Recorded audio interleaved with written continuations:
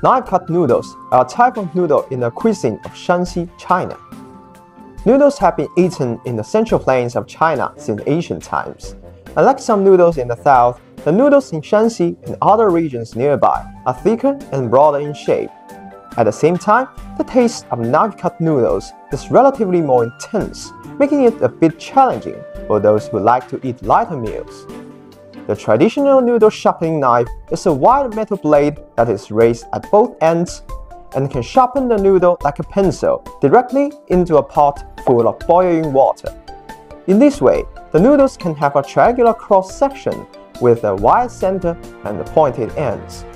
When cooked, the noodles are usually soaked in cold water to make them more al dente.